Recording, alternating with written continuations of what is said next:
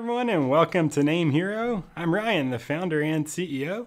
In today's video, I want to talk about our Hero Builder and how to implement and integrate the free SSL certificate into your website. So those of you that are not using Hero Builder, I'm to navigate over to the page really quick. You can I'm logged in, so my menu may look a little different, but here's our Hero Builder page. And if you're not a current customer of Name Hero or you do not have an account with us, you can try out Hero Builder free for 7 days. No credit card required. Just click get started free and you can easily create your account with Name Hero and the Hero Builder will deploy. Now, once you do decide on a, a, package of Hero Builder and you upgrade from the trial, you have the opportunity to connect your unique domain. Now, if you need help doing this, um, I've got plenty of videos on our YouTube channel on how to connect your domain and actually how to pick a domain if you don't even have one. So you want to make sure you have that before you follow these steps to get the SSL generated. So I'm going to head over to our client dashboard and I'm going to navigate to my package that I want to apply the SSL certificate to. So I'm going to click um, Cloud Web Hosting and I've got a couple packages here, but the one I want to talk about is the e-commerce builder package because it's an upgraded package from the trial. You have to have a um, upgraded package in order to connect your unique domain. So I also have videos on connecting your domain, but I'll go here, connect domain. And I want to make sure that my domain is in fact connected. So you can see I'm using the domain trekhosting.com and it points to my website URL. So this is my Hero Builder URL and my domain connects to it. And you can see the status is connected. Now, obviously you want to make sure that you're using the appropriate name servers for your domain because it will not resolve unless it does. So again, please see that video I have on our YouTube channel on how to connect your domain to make sure you followed all the steps correctly um, before, com before completing the SSL or attempting to complete the SSL installation. So once the domain is connected, connected, you have your name server set, and it's propagated, you can click the lock right here. It says, if you hover over it, you can see it says generate SSL, and then confirm it. And this will actually generate a unique secure certificate for your specific unique domain.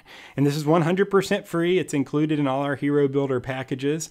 Um, but this won't complete successfully unless you have um, the name servers updated and they've propagated, which you can see it, it has on here. So once you set up and connect your domain, it may take a, up to a couple hours to propagate. Most of the time it's like five to 10 minutes, but sometimes we do ask for at least 24 hours before making the assumption that it did not work.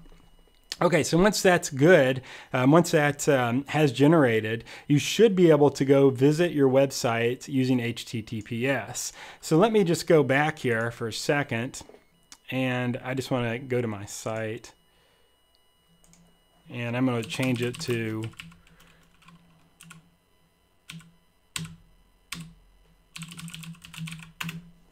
trekhosting.com.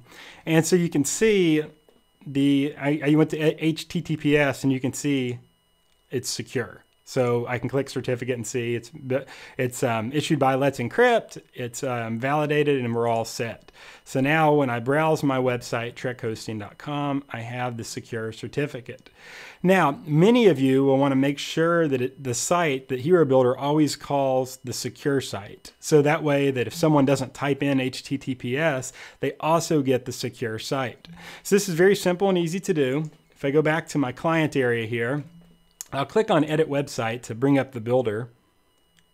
It just takes a second to load up here.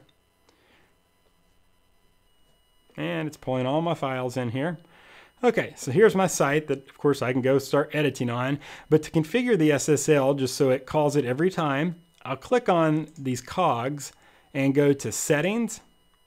And then you can see the first setting under General is Publish Site with Forced HTTPS. So I'll click that and also, you'll notice that you can publish it with forced redirection. You want to do this as well. So we're going to click this too and say if it doesn't have www, redirect it to the non-www because that's where the SSL certificate is. So I can see in here, I don't have the www in front of it. All right, so I'm just going to click apply and now I'll go to publish. Okay, now when as this what this does, it packages everything up and it sends it securely to the Name Hero cloud, our high-speed cloud with all the features that you've come to love of Name Hero, and um, it sets it up in your htaccess file. So now when people browse your site and they go to your domain, so let's see what they would just type in www, you see it automatically redirects to the secure version of the site. And so now you can see as people go about browsing your website that everything is safe and secure. It's using the secure certificate and you no longer have that not secure warning. You know, Google Chrome, I think it was July 20, I know it was July 2019, they implemented this new feature in their browser that if you don't have an SSL certificate, they show a not secure warning up here. Now, of course, if you're selling products, um, customers aren't going to input their information in a site that says not secure. At least I wouldn't. Um, so it's important that you use that feature, and it's completely free, super easy to set up. Um, and as you can see, it just took a second to force all those URLs to that, and now your site is safe and secure. So if you have any questions on this, feel free to let us know. Um, but the prerequisites is to you know make sure you're on a paid package and have your domain connected, make sure it's propagated, and then you can just set it up with the mentioned steps. Now I've got a video as well to connect your domain, and now this highlights how to how to go through and force that connected domain to use that secure certificate. So let us know if you have any questions. Again, the Hero Builder is free for seven days, so you can try it out, see if it's appropriate for your website, play around with it, build some sites.